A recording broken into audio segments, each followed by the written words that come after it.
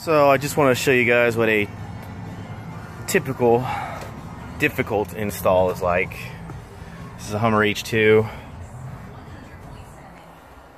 Pretty much have to take everything apart. Center console. Wires everywhere.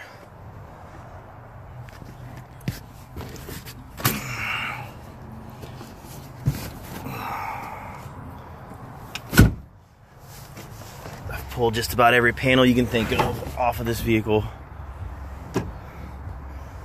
Right now I'm working on fixing the amp bypass. This whole stereo system that was originally installed was super ghetto, obviously. And I will be hooking up this amp and sub. Typical.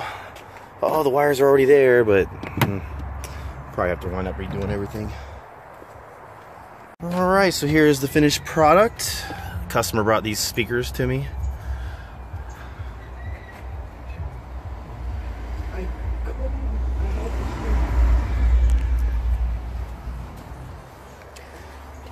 Remember that nightmare? Glad it's over.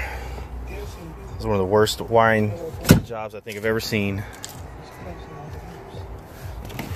Center console back together.